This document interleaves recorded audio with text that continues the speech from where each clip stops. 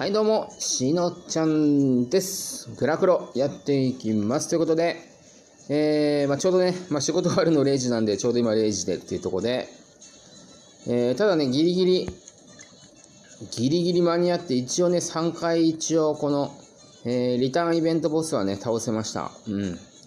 超よ、あの、オートで余裕でいけるやつですね。で、まあ、今回はさ、まあ、ガチャ見ていくんですけど、まあ、とりあえず、まあ、今回イベントそこまでね、やること多くなさそうで、とりあえずね、現段階ではね、良かったなと。で、まあ、今日はね、まあ、ガチャなんですけど、まあ、こ最近というか、まあ、まあ、2回目かなわかんない。キングオブ、金、いや、前からあるかなちょっと覚えてないけど、まあ最近なんかね、ログインボーナスでチケットもらえるので、ちょっと初日でね、ガチャたくさん引くのは、ちょっともったいないと思うんで、取りに行くにしても、最終日のチケット取ってからね、取りに行くのがいいかなっていう感じがしますね。前回のキングオブ、キングオブファイターズ98もさ、結局チケットで、あのー普通に狙いのキャラ全然出るんで、うん。まあそんな感じですね。なんだこれ。何これ？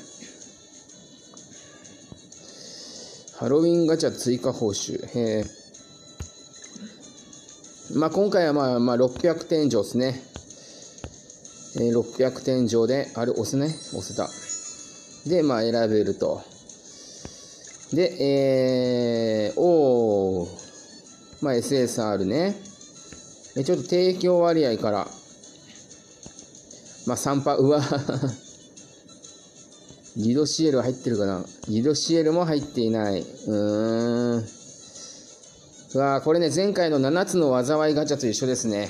うん。新キャラの確率上がっていない、超闇ガチャですね。うん。超闇ガチャ。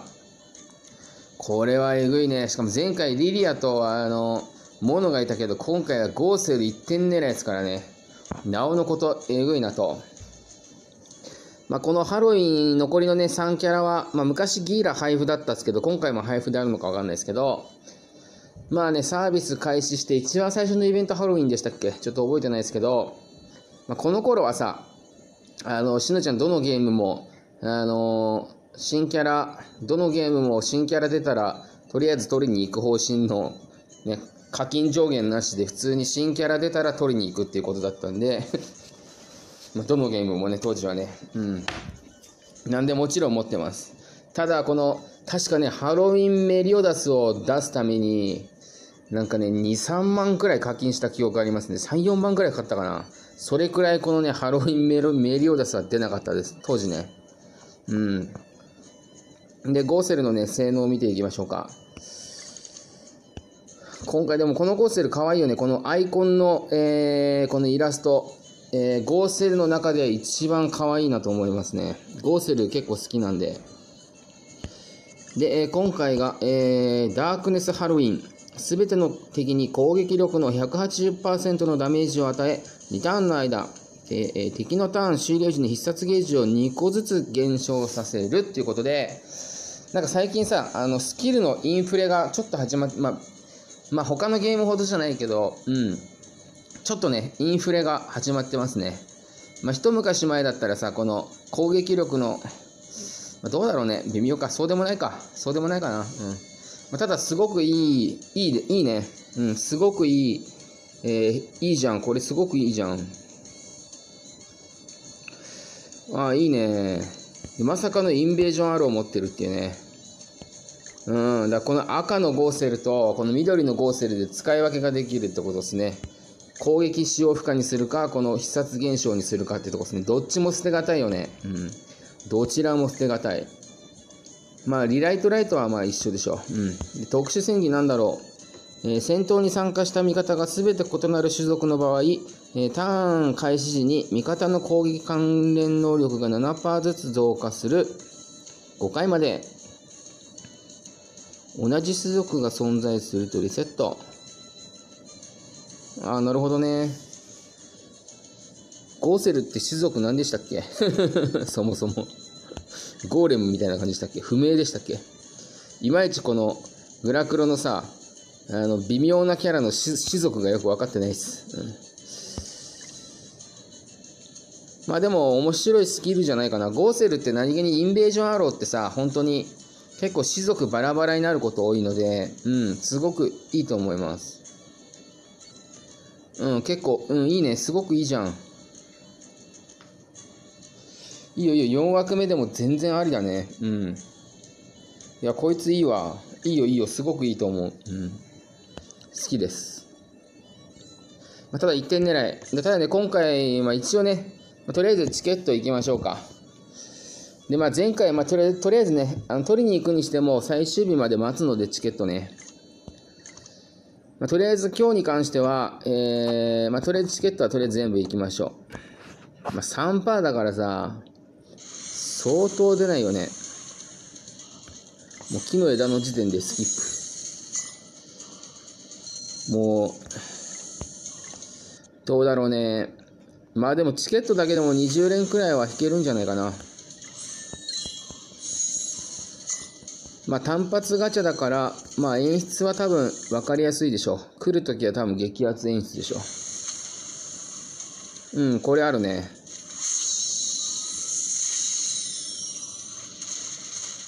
あ、ない。はい、ナイスティー、スキープ。さあ、とりあえず今回のね、あ、チケットあの120円のやつはね、一応買っときました。一応ね、今のところグラクロはその、あの、昔はね、めちゃくちゃ課金してましたけど、もう、今年入ってくら、今年にね、あの、2月3月くらいからはもう完全に、デイリーパックのみですね。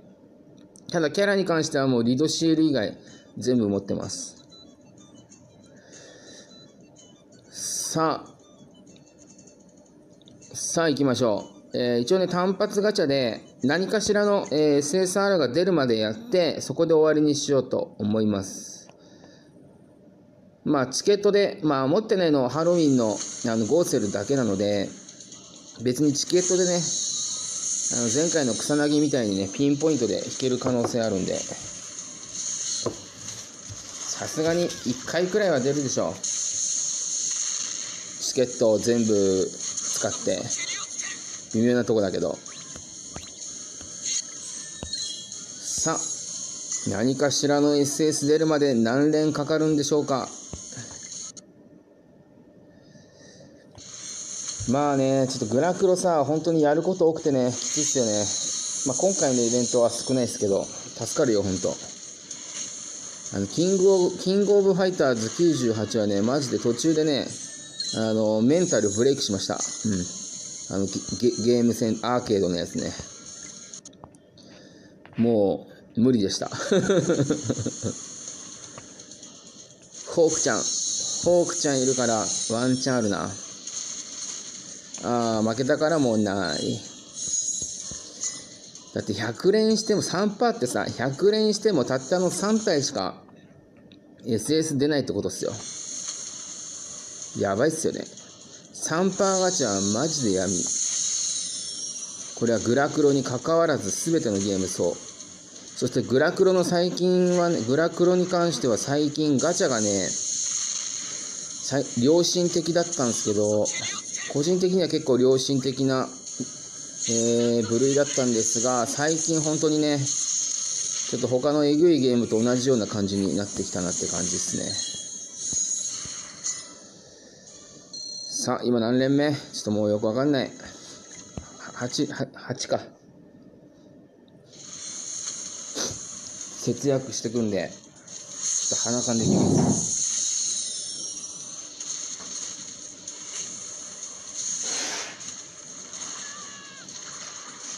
えさあ、どうだ？さあ、お願いします。あー、ないね。スキップ。いやマジで単発、単発初めてかな。単発初めてかもしんないです。あの、チケットの、なんか調整くらいでしかやったことないです。天井行くための調整くらいでしかやったことないですね。あ、10連目。次11。次がね、11連目です。まあ何かしらの SS 出たら多分ピンポイントで弾けるんじゃない？なるだけグラクロはデイリーパックだけでなるべくね。まあ仁義とかはでも本当にね仁義が毎回かっこ悪すぎて全部デザインがね。別にあの仁義を課金控えてるわけじゃないですけどデザインがダサすぎて買う気が起きないんですよね仁義、まあ、今回のあのあのゼゼルドリスだけはね仁義買いま買いまだ買ってないですけど買いますけどね。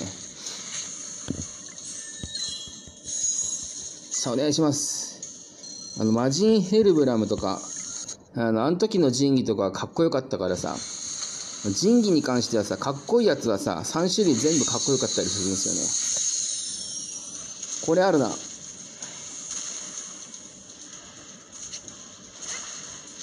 これはある。比較的厚めの演出かな。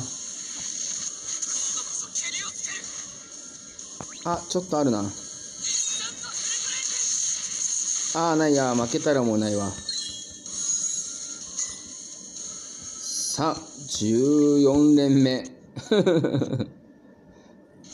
いやグラクロの3パーガチャはねマジで闇っすからね。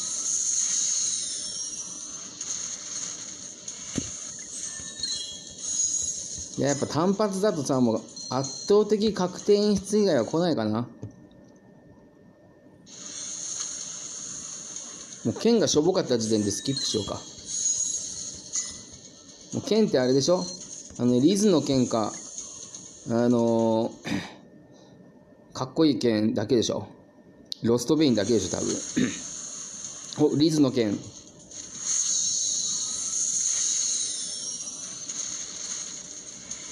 おこれはあるんじゃないか？いやでも本当にさ今日もいろんなゲームが更新来て大変っすよね。さあお願いしますああダメだ。いやさすがグラクロの3パーガチャ。3パーガチャは闇です。17連目。いや普通に普通普通に出ないからね3パーガチャは。やっぱ30連くらいしなきゃダメなのかな。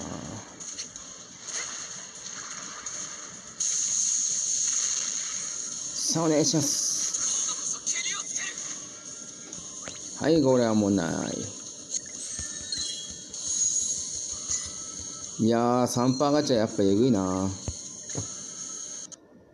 少しでもダイヤを節約しようと思ってやってんすけどいやなんかリズの剣フィーバーしてるなまあでもないかな。もうリズの剣だけじゃダメだ。リズの剣プラスアルファで何かしらの演出がないと多分来ないな。もうリズの剣オンリーだったらもうスキップします。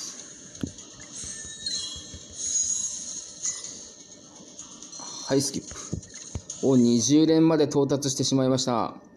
ダイヤ60個も消費してしまいました。今目光ったな。目光ったけど R です。やっぱ木の枝はダメだな。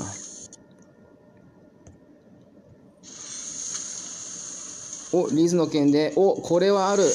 これはあるぞ。目光った上にちょっと魔人化の、えー、空が明るい。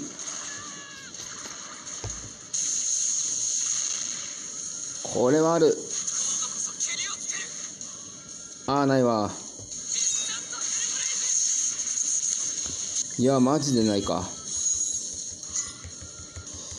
いや、さすがに、さすがに、そろそろ出てくれないと、きついです。もうこの5です。5、お、来ました来ました。やっぱ木の枝ってやっぱさ、木の枝って一見来なさそうなんですけど、意外にね、SS 出るんですよね、木の枝。だからこの失敗率判定はね、あんまり木の枝はね、そこまで関係ない気がしますね。うん。さあ、ようやく SS 来ました。お願いします。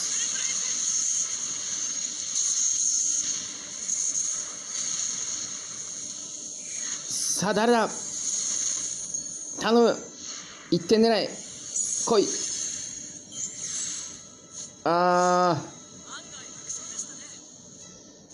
いやこれさ無理だよね。これ無理。うん絶対無理だわこれ。あっち22連目で、えー、SS が出ましたね。これさゴーセルを取りに行こうとしている人は多分天井かなりの大多数が天井でお迎えになる確率が高いんじゃないかなと思います。ね、言うてたったのえー、0.35%ですから、えー、他のキャラクターは0.16%だから、ね、SS 出たら、ね、言うてそんなに、そこまで確率、高いっちゃ高いけど高くないじゃないですか。これさ、ゴーセル取りに行く人は、本当にほぼ天井コースだと思い思いますね。いやー、これえぐいよね。マジでえぐいと思うわ。ちょっとゴーセルの、あの初期デザイン見れるかな？ゴーセルの初期デザインは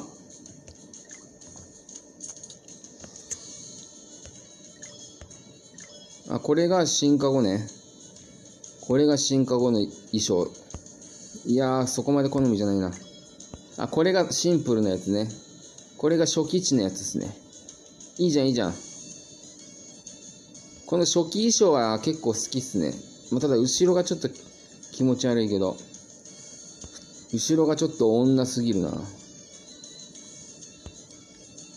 ただこの正面は結構可愛いっすね。うん、ゴーセルの中では結構好きな衣装になるかなって感じですね。いやー、これ天井お迎えやだなすげえやりたくね。いや天井迎えはしたくないなこのゴーセルのために。ね。なんつったら抱き合わせのキャラがさ、まあ、デリエリ、デリエリ入ってんのはいいか。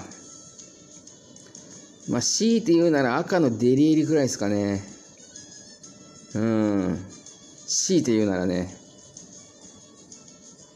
まあ、ただ、あの、ハロウィンエレインとさ、あの、ハロウィンメリオダスの、えー、コスチューム効果ね、なんか追加されたみたいなんで、1年越しにね、あの、救われたなって感じですね。うん。まあちょっとね、あのー、ログインボーナスちゃんと受け取って、あの、チケット回しつつ、えー、まあね、最終日くらいに、ガチャの最終日くらいにね、まあ、その間になんか違うガチャ発表とかされるかわかんないですけど、まあ、一応基本的に今ね、リドシエル以外は一応全部持ってるんで、まあ一応ね、お迎えしに行くつもりではいます。うん。まあ、その時の状況次第ですかね。うん、そんな感じで、えー、一応、えー、22連目に SS でアーサー様でした。うん、そんな感じでどうもありがとうございました。バイバイ。